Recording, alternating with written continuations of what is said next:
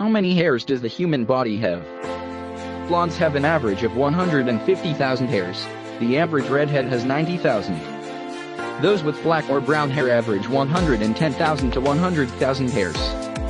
There are about 5 million hair follicles on the adult human body and men have a few hundred thousand more than women.